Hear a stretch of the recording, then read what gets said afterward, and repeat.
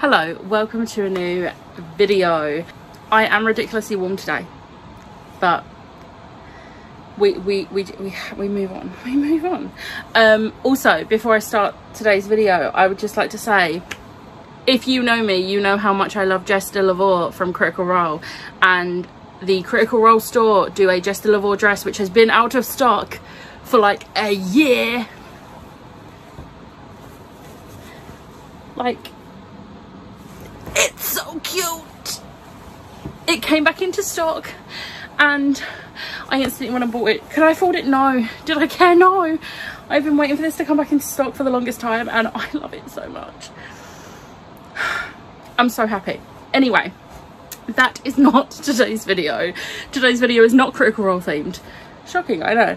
Um, today I'm going to do a tag video. Um, I'm going to do the bedtime book tag, which I was tagged by the lovely Nat over at Nerdy Nat Reads. Um, this was originally done by Books with Kelly. Um, so they will be tagged all down below. Um, go check everyone out. Um, but I really, really liked this. When Nat tagged me, I was watching it and I was like, oh, this is a good tag. I like this tag. So let's uh let's go for this tag. Um, so the first question is, what book kept you up all night reading? So I have three I'm going to mention.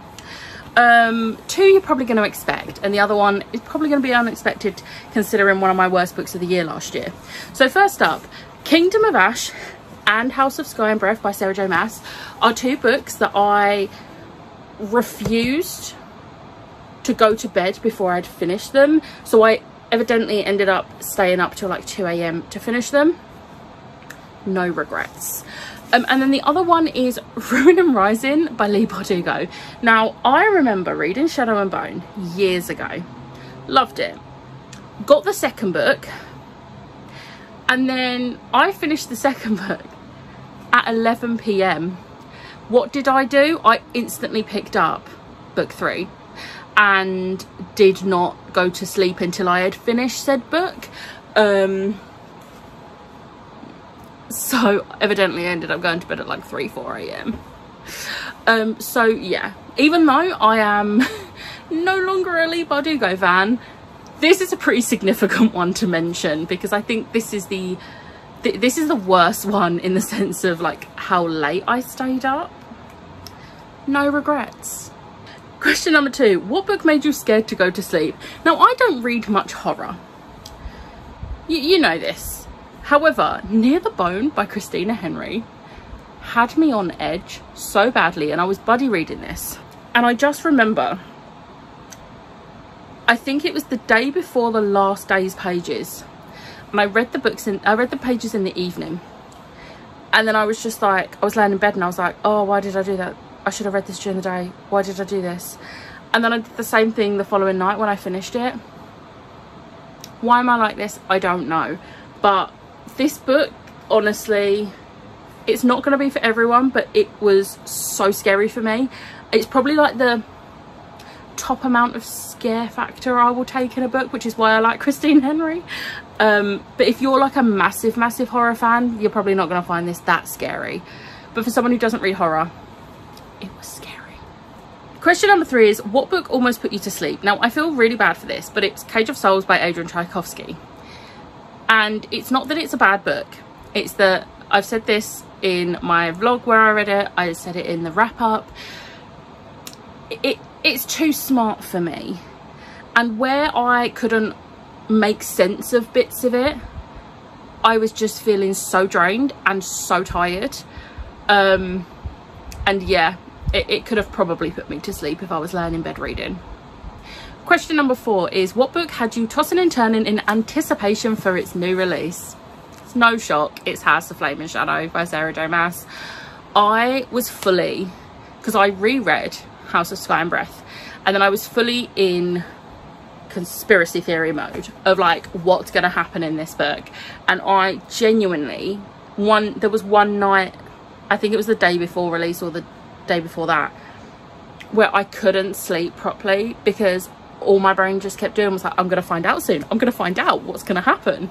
Um, and I think this is one book that's done that to me. Not many books have but this is one that I very distinctly remember.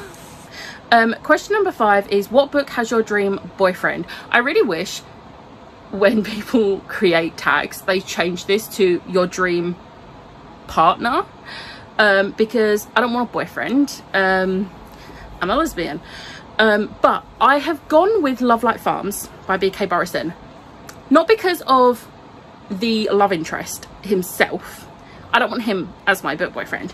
But more the fact that this is a friends to lovers and the dream partner is having someone that is your best friend and gets you and is funny and loving and yes I'm describing my girlfriend. Sue me for being sappy. Um question number six is what book would be a nightmare to live in? Um attack on titan. I love this series. I'm having the best time with this series. Would i ever want to live in this world? Absolutely not no thanks. I don't want to be eaten by a titan thanks. I don't want to have to fight titans. I don't want to have to live in fear of titans. Absolutely not. Question number seven is what book reminds you of nighttime? Um for this i'm going for the luminaries by susan dennard um nightmares come out at nighttime. Nightmares are the different types of monsters. Um they come out at nighttime.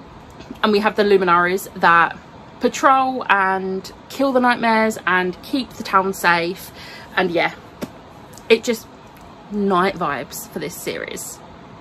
Question number eight is what book has a nightmarish cliffhanger?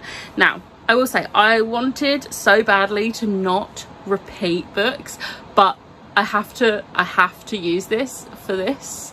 Uh, attack on titan I got myself into a routine of I would read three volumes at a time because the first two volumes of an omnibus would be major cliffhangers and then the third one would be less of a cliffhanger. So I got myself into that routine and then it got later in the series and that third volume was just as bad as the other two for the cliffhanger.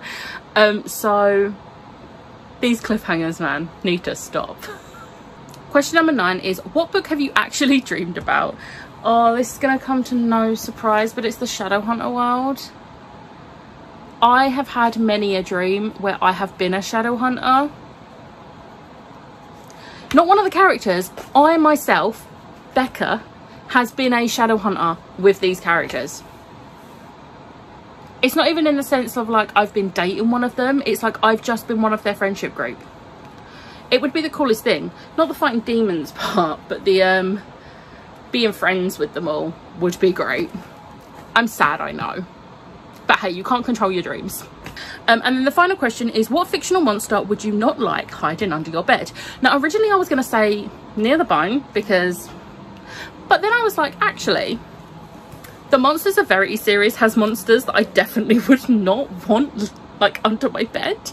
Um they are not great and I think I would cry before it killed me if there was one hiding under my bed because they definitely would kill me because they are deadly creatures. So yeah, this Savage Song and Our Dark Duet by V.E. Schwab. Um, that was all 10 questions. That was a really quick tag. I have not even been filmed for 10 minutes yet. Um, I'm going to tag I don't know anyone that's actually done this, I don't think. And if I do, other than Nat who tagged me, I apologise. I'm going to tag Ash over at Ash's Bookish Life, of course I am, um, Gem of the Creepy Geek, Chloe at Chloe Reads Books, and Emily at Emily Kathleen Reads. I'm going to tag those four. But if you want to do it, feel free, just let me know so I can be nosy at your, at your uh, answers. Um, but I hope you enjoyed that video. If you did, hit the like button, hit the subscribe button, and I'll see you next time. Bye.